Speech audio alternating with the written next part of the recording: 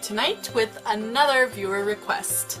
Tonight I'm going to do a how-to video on how to tell if your tarantula is getting ready to molt. I get asked this all the time and it's an excellent question, yet very hard to describe. I thought I would do a video on it so you all can understand.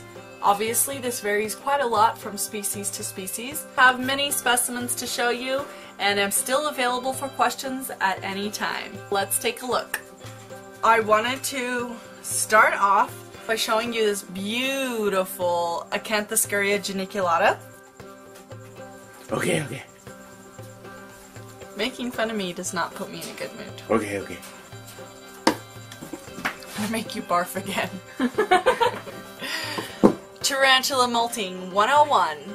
Best way to know if your tarantula is gonna molt is to see a fresh molt and you'll know, oh okay, that's an animal that was preparing to molt. This is a wonderful giant, well not giant yet, but getting there, Acanthoscurria geniculata. And I know this animal molted because she has a giant exoskeleton laying next to her. Now I'm going to show you some old world without urticating hairs. Let's take a look at this Pterinochilus chordatus. This animal does not have urticating hairs, which is a clear symbol, I think, often to tell if your animal's closer to a molt. But you can see how fat, tall, and circular this animal's abdomen is. It appears to be improportionate to the body, in my opinion. Let me show you one which molted more recently. Now this animal you can see is has a much narrower abdomen and it's much more proportional to the body. It's not thin, but it's not really big and fat and engorged looking. I know it's kind of crumpled up, but you can still see that the abdomen in comparison to the cephalothorax is more proportional and it is less rounded. That is a way to get an indication in some of your old worlds that they are approaching a molt. One way to tell is by the volume of the abdomen basically how dense it is, the shape, and basically how big and fat it is. Now just because it's pretty, I had to show you this beautiful Brachypelma vagans just because it had molted not too long ago she's just so pretty. And you can see her abdomen is smaller and it's nice and full and she has not lost any urticating hairs yet. You can see that she is more freshly molted. Here's an example of an Avicularia versicolor who is getting closer to a molt, although she still has a full rump of hairs. They don't always kick hairs, and sometimes the more docile species in particular will keep uh, fully haired, if you will, and still can be close to a molt. Here is an Avicularia versicolor who molted more recently and notice the abdomen is thinner, smaller. The color is also much more brilliant, whereas in an animal that's getting closer to molt, they tend to kind of dull out.